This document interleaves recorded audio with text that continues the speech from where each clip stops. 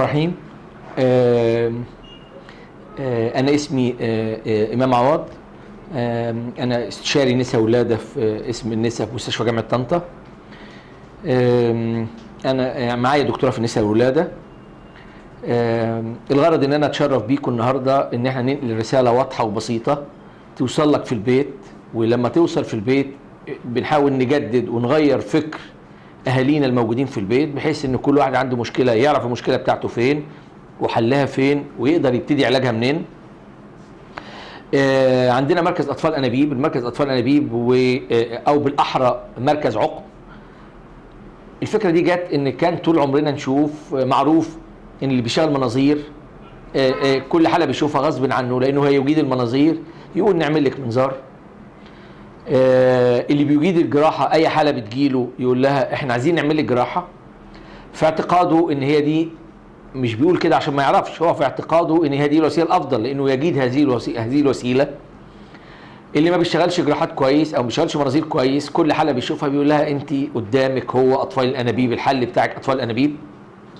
يمكن هو برضو شاف أطفال أنابيب كتير عشان ما ابقاش بظلم حد ولا بنتكلم على حد. حالات كتير جات له وحالات كتير كان عندها نفس المشكلة دي وحالات دي حملت بأطفال أنابيب وبالتالي هو حط في اعتباره إن ال- الوسيلة لعلاج هذه الحالة هو أطفال الانابيب إلا أن الموضوع ده آه، آه، آه، مش حقيقة. كل حالة المفروض إنها تخضع للوسيلة المطلوبة لعلاجها. المنظومة دي تحصل إزاي؟ إن إحنا لو قدرنا كنت أنا وناس زمايلي من زمان إن إحنا نقدر نعمل مركز المركز ده من شأنه إن نقدر يبقى فيه التخصصات الكاملة اللي العيانة هي وجوزها أول ما تيجي يبقى عندهم مشكلة تتشخص كويس وتتعالج كويس من خلال اختيار الوسيلة الأفضل ليها للمشكلة اللي عندها. آه، المنظومة دي جت إن إحنا إحنا محتاجين دكتور ذكورة كويس وإحنا فعلا آه، ربنا كرمنا بدكتور ذكورة جيد الأستاذ دكتور خالد سالم وده من أشهر وأقدم أساتذة ال andrology أو الذكورة في مصر. آه، معانا آه، أخويا واستاذي وزميلي الأستاذ الدكتور هشام سالم وهو من أشهر الأساتذة الموجودين في مصر في ال ART أو ال assisted reproduction أو في مساعدات الخصوبة بداية هو أشهر ومن أحسن الناس تجيد أعمال المناظير وكان من يعني أكبر ناس بتجيد موضوع ال micro surgery أيام ما كان الإرة من حوالي 10 15 سنة. بظهور المناظير هو طبعا إنسان يجيد المناظير بشكل بصورة رائعة وبصوره متقدمة بتحقق بيحقق للعيانة الوسيلة الأفضل ليها علشان ربنا سبحانه وتعالى آه، آه، آه، يرضيها بالإنجاب أو ربنا يكرمها زي ما هي عايزة.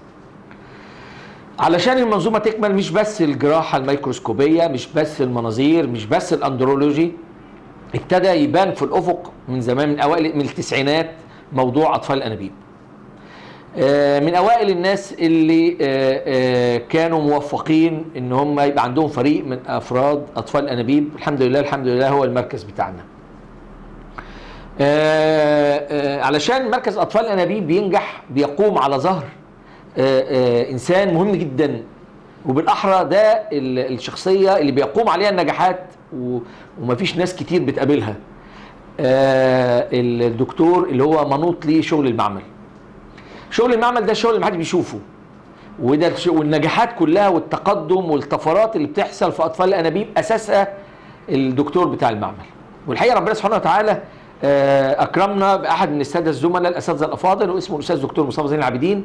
هو أول دكتوراه في الشرق الأوسط في أطفال الأنابيب. أول حاصل على درجة الدكتوراه ويسترن من ألمانيا هو الدكتور مصطفى زين العابدين. طبعا الكلام ده حقيقة ما الكلام مش دجل هي دي الحقيقة. في ناس كتير بتشتغل يمكن ناس سبقونا كتير بالشغل. لكن آه، آه، آه، الدكتور مصطفى هو أول حاصل على درجة الدكتوراه في أطفال الأنابيب في الشرق الأوسط.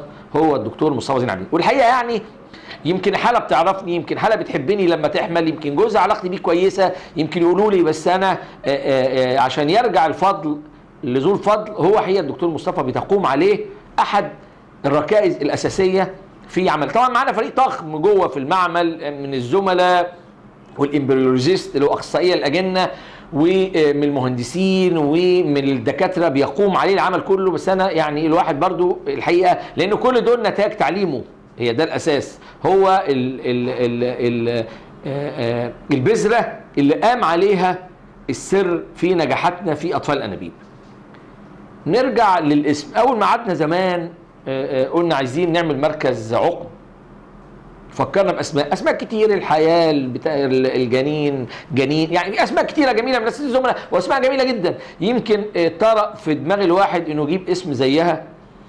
آه، مركز الأمل عشان ال hoping مركز الخ... يعني أسماء كتيرة جت في دماغنا. بس أنا كان عندنا concept غريب جدا أو عندنا آه، منظومة فكرنا فيها كويسة جدا.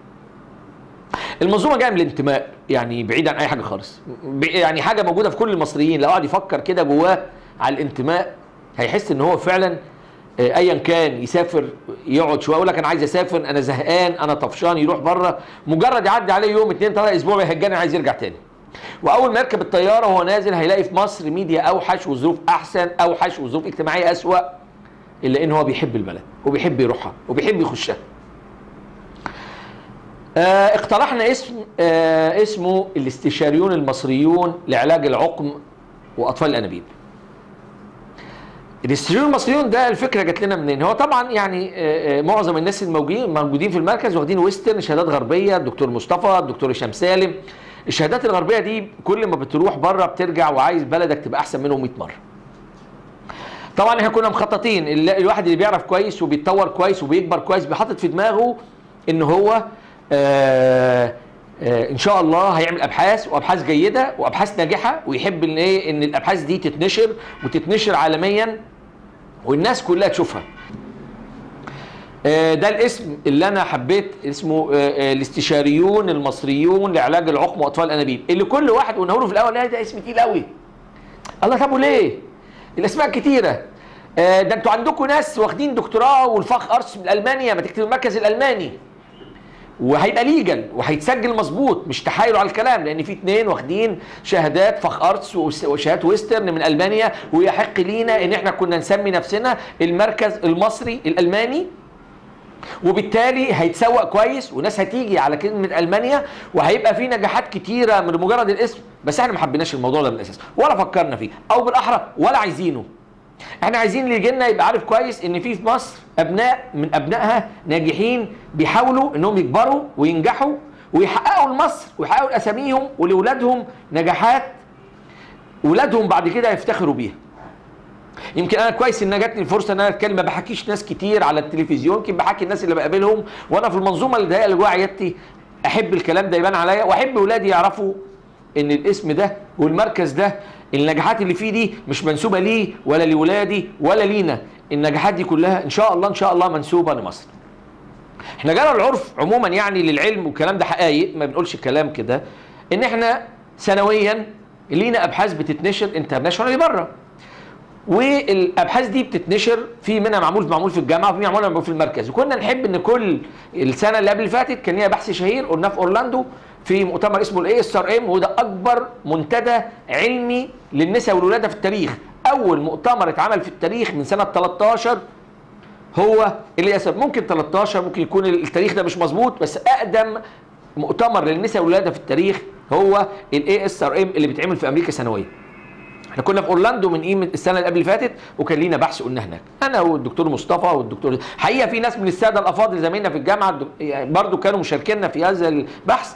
بس آه، ده في أورلاندو. جينا السنة اللي فاتت كان لينا بحث كان برضو معمول في بوسطن. كان لينا برضو بحث شهير في بوسطن. يمكن أنا كان في بحث قبليهم بس أنا ما كان ليش شرف إن أنا رحت. كان عامله الدكتور مصطفى زين العابدين والأستاذ الدكتور هشام سالم. كانوا اللي آه، آه، قبلينا بس أنا يعني ما كان ليش شرف إن أنا أروح ولا أحضر ولا يكون لي حضور في هذا المؤتمر في السنة دي.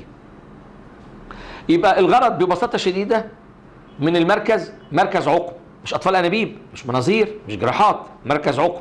يعني العيان اللي هتيجي ما عنديش مصلحة إن أنا أقول لها مالكيش الأطفال أنابيب. ما عنديش مصلحة إن أنا أقول لها هنعمل لك منظار. ما عنديش مصلحة إن أنا أقول لك هنعمل لك جراحة و microsurgery أو جراحة ميكروسكوبيه داخل الحوض. ما عنديش أي مصلحة. المصلحة هو العيان. المركز بيقوم الهدف الأسمى منه إن العيان يوجه الوجهة السليمة اللي تقدر نخدمها بيه وإنها تلقى عندنا اللي ما نتمناه أو بالأحرى الحقيقة ده اللي شفناه بره وده اللي نحبه يبقى هنا واللي نحب لب- لبناتنا ولإخواتنا إن العيانة من أول ما تخش المركز آه، تتشخص كويس العيانة تتعالج كويس العيانة تاخد الكير كويس ويعني هذا ما نتمناه واللي إن شاء الله ربنا قدرنا ويكون فعلا يعني آه، آه، آه، نكون عند حسن ظن الناس بيه. ونتمنى الكلام اللي إحنا بنتمناه يبقى حقيقة. أي الواحد بيعمل اللي عليه وربنا سبحانه وتعالى بيكون إن شاء الله.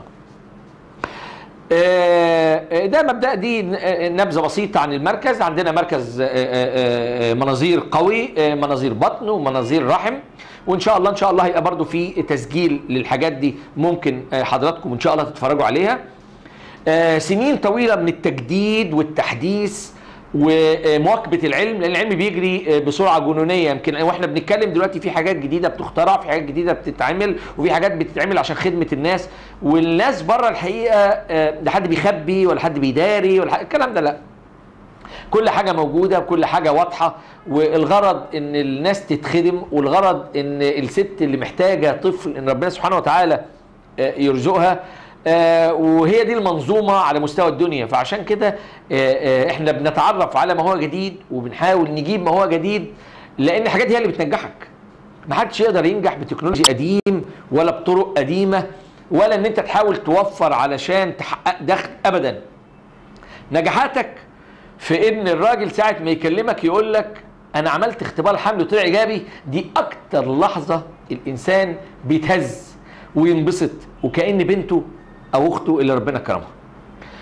ساعة ما يعدي عليك العيان وتقابله يقول لك الولد ده ابنك وتبص تتخض من ولد جايبه وتبقى حاسس إن اتنين حياتهم كانت متوقفة بيقعدوا جنب بعض ما يتكلموش بيمشوا في العربية تبص عليهم في العربية تلاقي واحد بيبص من الناحية دي وهو بيبص قدامه. عدم وجود الرابطة اللي ما بينهم ما بتحقق لهمش الحياة السعيدة اللي هم بيتمنوها. إلا إن إلا إن في. بتقدم العلم والنعم اللي ربنا سبحانه وتعالى أنعم بيها على البشرية قدرنا برضا من ربنا سبحانه وتعالى وتوفيقه إن نقدر نحقق للعيانة اللي إحنا بنتمناه لها الحاجة الجديدة اللي تخش بيتها وتضيف عليها السعادة الحاجة اللي تخش بيتها وتحقق لها عندي أنا أولاد وعارف قد إيه يعني إيه الابن ساعة ما بيخش عليك تبقى سعيد مش مهم تلبس المهم هو يلبس. مش مهم تبقى مبسوط هو يبقى مبسوط. لما هو مبسوط كأنك مبسوط وأكتر. الحاجة اللي الواحد عايشها وشايفها يحب الناس كلها تشوفها. الحاجة اللي هو بيحسها يحب الناس تحسها. آه، يبقى كده إحنا أول كلام إحنا اتكلمنا ببساطة شديدة عن الموضوع ده وهنبتدي نتكلم بقى في حلقة حلقة هنحاول نفهم الناس ببساطة شديدة. انت عندك إيه؟ انت تروحي لمين؟ انت تعملي إيه؟ الوقت بالنسبة لك مهم؟ أو ده بالنسبة لك مهم؟ ونوجهها. ما يفرقش تروح لمين. المهم على الأقل تبقى عارفة مشكلتها فين وإن شاء الله إن شاء الله إن شاء الله حلها هيكون فين. آه إن شاء الله إن شاء الله في الحلقة الجاية إحنا هنرتب كل حد من السادة الزملاء هيقدم حلقة والحلقة دي هتشرح جزء أو توبكس معين. إحنا نحب رسالة بسيطة خالص. هنقولها بمنتهى البساطة وبدون تعقيدات. لمجرد إن العيانة تفهم الموضوع طبعا في حلقات ممكن إحنا بنقولها بيسمعها حد من الساده الزملاء بس الحلقات دي معمولة ليكي أنت مش معمولة لحد تاني. هنتكلم ببساطة الكلام اللي في العلم موجود كتير في الكتب.